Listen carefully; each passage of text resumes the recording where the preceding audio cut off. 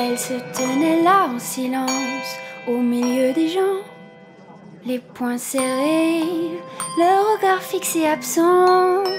Cet appel irrésistible qui résonne dans sa tête, qui l'amène à sa perte, vient de sonner. La voleuse est en pleine infraction